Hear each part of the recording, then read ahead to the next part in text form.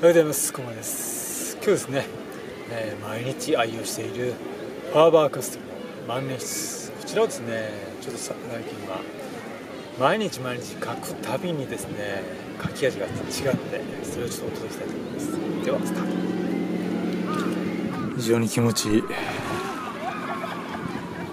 公園ですね。今日はちょっと暑いので短パンで来ております。して愛用している。ファーバーカセですね。もう本当に毎日愛用しているので手に馴染んでいる感じですね。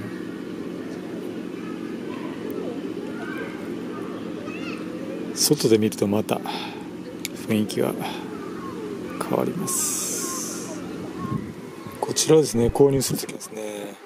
私はまペンは黒が好きなので黒とかなり悩んだんですがほとんどのペンは黒を持っているので黒かシルバーなのでこの時はまあ白にしました。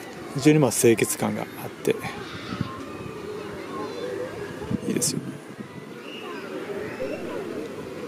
毎朝ですね朝ノートでこのファーバーカステルを使用してるんですけども不思議とですね毎日書き味が違います。このペンは、まあ、独特な形状ですよね。キャップがすごく存在感があって、まあ、クリップもこのようなデザイン性があるんですけどもキャップがかなり重量感があります。そして軸のですねまあ私が大好きな太軸で少し樽型形状ですのでここをいつも持つんですけども非常に心地いいです。そしてまあ前から言っているここにですねキャップがさせたら最高なんですけども結構すぐ外れますので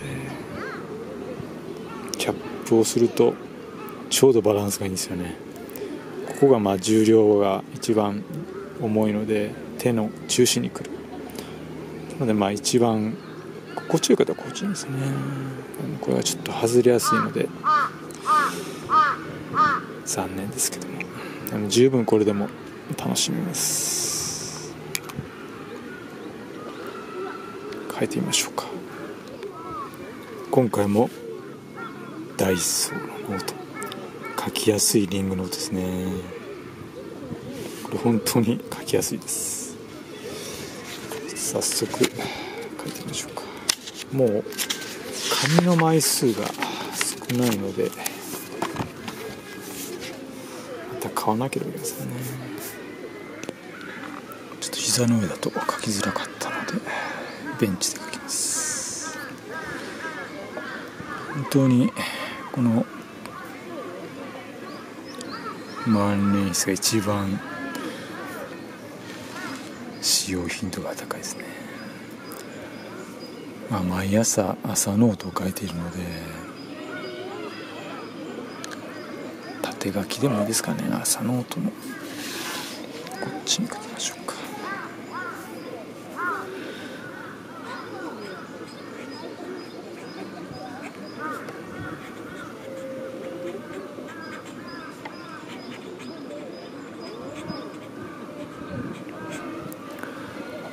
非常に綺麗なインクですね。争点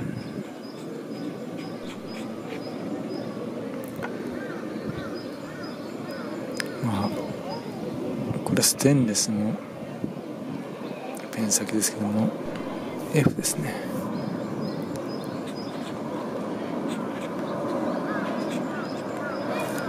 ステンレス。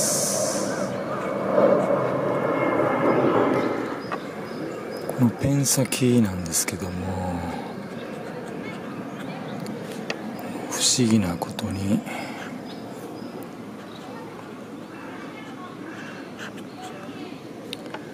毎日ですね。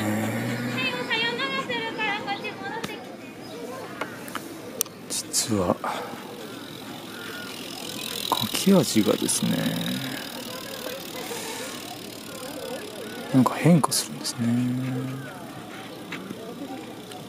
これが非常に不思議でですね時にはですね本当にカリカリ感が出てですねあんまり良くなかった。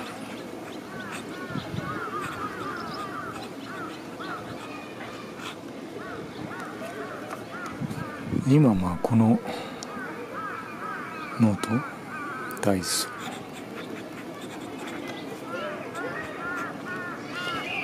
非常に書き足が。いいですね。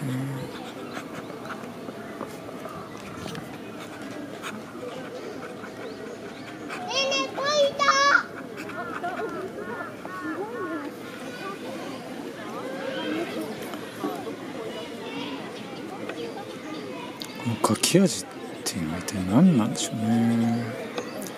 今日は最高ですね本当に書き味がですね滑らかっていうのとカリカリとまた毎日毎日変わるんですよね。そして、まあ、通常ですねこのような、えー、文字で書くんですがこういうのが書く時の心の整理いやでもあの私も多分きっとお父さんが伸びした時とかに当たったのかなとか思ったんですいや、まあ、受け方も関係しているのかもしれませんね。何かまあ落ち着かなかったりしていると、まあ、ペンにも伝わるのかなという感じですね。この装填は本当に美しく。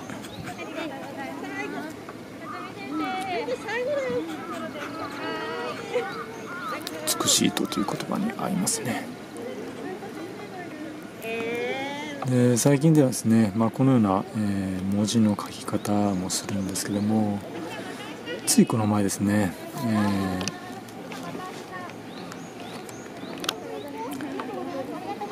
例えば、ま、美しいとと書きましたけどもとこのようにですね、えー、まあ、若干の、えー、違いこれ分かりますでしょうかね、えー、言葉の書き方をですねうん。変えることでたったこれだけですね。すごく新鮮な気持ちになって何かこう気分が変わりますよね。そのことも朝ノートで気づかされた部分ですね。いつもは横に書きましょうね。いつもはこういう文字そして少し、まあ、平べったい文字ですね。本当にこのペン先も含めて軸も含めてかなり好きすぎていますね。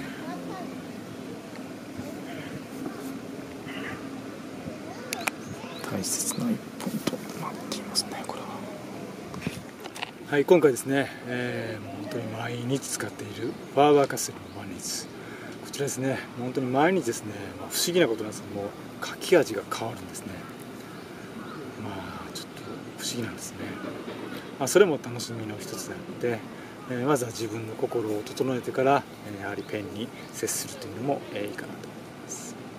皆さんもお気に入りのペン毎日毎日どのような書き味になるか試してください、えー、ちょっと今回ですね、えー、まあ暑いのもあるんですけども、えー、短パンで、過ごしています、えー、この次明日ですね、えー、動画はですね、えー、かなり前にコメントでちょっと朝トレをですねえ、どう過ごしているんですかというのをアップしてほしいということでちょっとかなり半年ぐらいですかねちょっと経ちましたけども、えー、明日お届けしたいと思います。ちょっと恥ずかしい映像ですけども皆さんその映像をもとに、え、一緒に朝トレを始めただけたでしょうかもしこの動画が良かったなとチャンネル登録お願いします。